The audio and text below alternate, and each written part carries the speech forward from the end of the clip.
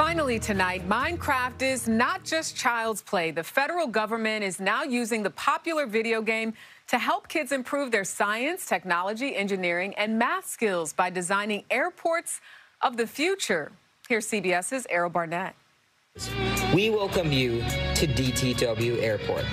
Real airports in a virtual world. What began as a simple idea from the FAA to engage kids stuck in isolation during the pandemic grew to include more than 2,800 students from 180 countries taking on the challenge using the video game building world of Minecraft. We have created a fully autonomous electric plane powered by solar panels.